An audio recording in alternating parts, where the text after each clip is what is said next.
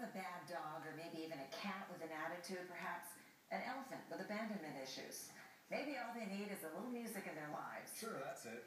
Our Larry Himmel introduces us to a local animal therapist who uses her harp to enrich their lives.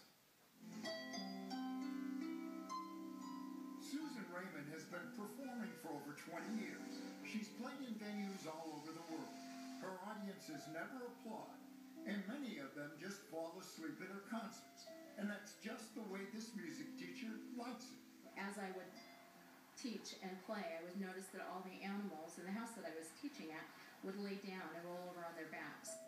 That's when Susan decided to devote her life to making music to soothe the savage press inside the savage beast. Either their angst, their anger, their pain level, but after recording a couple of CDs and doing some research, her reputation spread around the globe. From China to Australia, she's worked with elephants and wolves and horses at zoos and farms and ranches. It's have heart will travel. I just came back from North Carolina working with a tiger that had a golf cart phobia. Today, Susan is working with the big cats at Lions, Tigers, and Bears, an exotic in Alpine.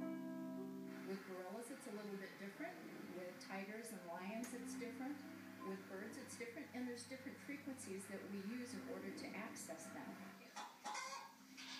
Her harp enrichment therapy finds a captive audience in the barnyard where the donkey and the miniature horse are enthralled. If you watched them when they came up, the relaxation process for them is the ears. The good vibrations knock the pig out,